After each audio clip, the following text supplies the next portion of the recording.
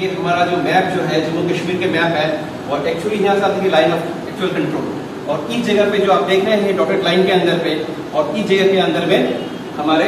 जो कारगिल के जो वाह है, इस जगह पे हुए थे नाइनटीन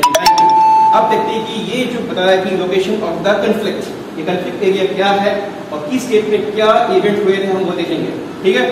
तो फ़र्स्ट जो डेट आप देख रहे हैं the war timeline operation okay third में Pak introduce report by the local settlers जो लगभग लोकल सेटलर्स थे उसने जो है कि रिपोर्ट किए थे। थर्ड में fifth May, the five Indian soldiers of an Indian army platoon captured into the torture to the death. यानी कि आप पाँच तारीख को देख रहे हैं कि फाइव इंडियन सोल्जर्स को जो है इंडियन आर्मी के प्लाटून सोल्जर्स को लेकर कैप्चर किए उसके बाद में उनको आप देखिए टोर्चर किए उसके बाद कर दिए पाकिस्तान वाले।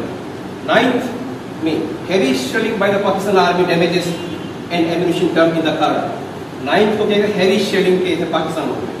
टेंथ में जो है infiltration first notice in the Dras area okay and the कार्टर्स and the मोडको सेक्टर ये सेक्टर्स में जो है कि 10 मई को इन्फिल्ट्रेटर्स आए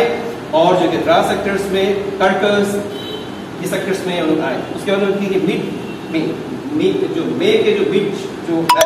इसमें क्या हुआ था? Indian army moves into the more troops from the Kashmir valley to the Kargil sector तो मिड में भी किया हुआ एक्जैक्टली जितना भी है इंडियन आर्मी के जो जितना भी ट्रुप्स है, उनको सारा जो कश्मीर से लेके कारगिल सेक्टर तक मूव करवा दिए गए और 26 मई